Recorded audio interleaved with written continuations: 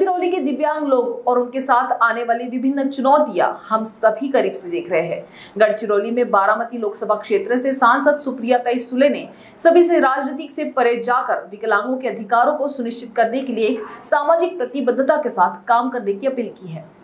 सुप्रिया सुले ने विकलांगों के अधिकारों को सुनिश्चित करने के लिए सामाजिक प्रतिबद्धता के साथ काम करने की अपील की।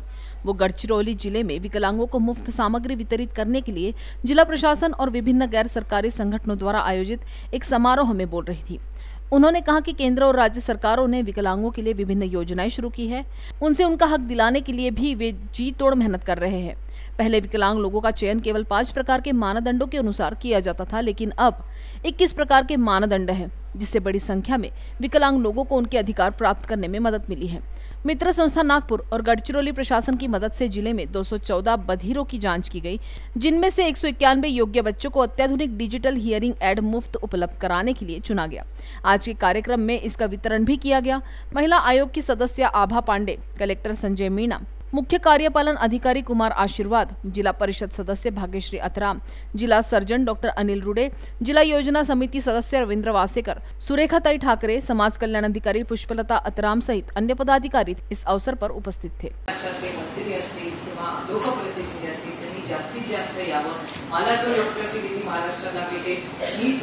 ऑफिशियली शब्द देते. जो भेटेल मार्केटिंग बाबा रे तू महाराष्ट्र फिर आनंदच आहे मला.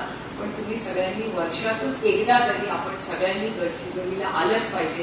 हे मला असं वाटतं प्रॉमिस आणि शब्द आपण हा महाराष्ट्रातला अप्रतिम भाग आहे. आणि लोकांच्या मनात त्याच्याबद्दल ज्या वेगळी मत आहे ती कुठेतरी खोडून काढण्याची नैतिक जबाबदारी आपल्या सगळ्यांवर आहे. हा सुंदर कार्यक्रम अभिजित तुम्ही आणि इथल्या सगळ्या प्रशासनाने केला.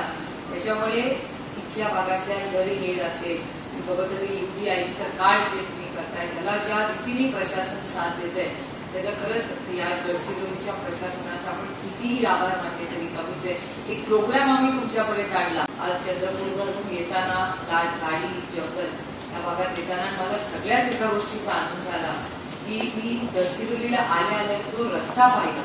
त्याच्यावर जे लाईट्स व्यवस्थितपणे राहिले मला असं वाटलं की मी पिपरी चिंचवडला आले पुण्याला आले का नवी मुंबईला आले. नंतर लक्षात आलं की नाही नाही आपण गडचिरोलीला आहोत. तर मी इतका आनंद वाटला की विकास याच्याबद्दल अनेक वेळा बोललं जातं. बदल होतो. त्या बदलाची नोंद आपण घेतली पाहिजे. आज सीओई उपस्थित आहे सीओई मला सांगत होते की या राज्यामध्ये कुपोषण कमी करण्यात सगळ्यात उत्तम काम कोणी केलं असेल तर जिल्हा परिषद गडचिरोलीने केलंय. मला असं वाटतं सगळ्यांनी